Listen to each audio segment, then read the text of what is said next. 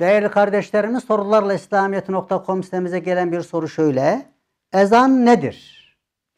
Ezan sözlükte bildirmek, duyurmak, çağrıda bulunmak ve ilan etmek gibi manalara gelir. Ama terim olarak ezan farz namazların vaktinin geldiğini nasla belirlenen sözlerle ve özel şekilde müminlere duyurma ifade eder. Aynı kökten gelen müezzin ise ezan okuyan kimse. Mi izene de ezan okunan yer demektir.